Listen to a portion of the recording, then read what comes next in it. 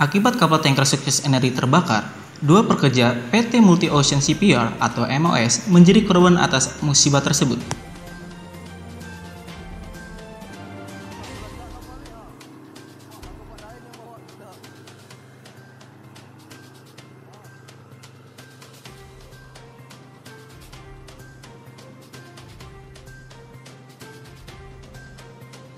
Kapal naas yang terbakar tersebut saat bersandar di area pekerja PT MOS.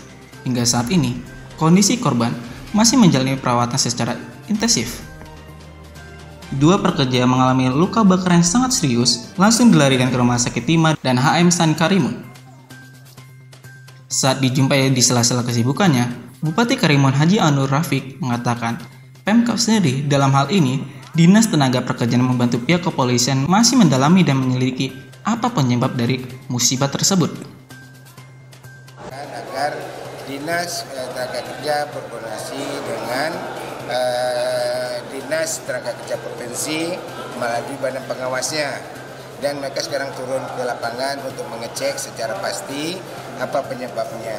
Kemudian baru nanti akan diambil langkah-langkah apa dan kita kita uh, turunkan dulu timnya ke sana melalui dinas kita dan juga dari tim provinsi. Kita ingin melakukan perubahan, perbaikan, khususnya dalam uh, menerapkan sistem keselamatan kerja yang baik.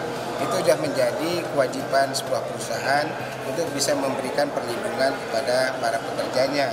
Oleh karena itu biarkan tim bekerja dulu, nanti setelah laporan kita lihat apa yang menjadi penyebabnya dan langkah-langkah apa harus yang kita lakukan karena tim yang untuk penyidikan ini itu berada di Musibah kapal terbakar yang terjadi pada Rabu sore 24 April 2019 tersebut hingga saat ini masih dalam penyelidikan dan diberikan garis pembatas polisi.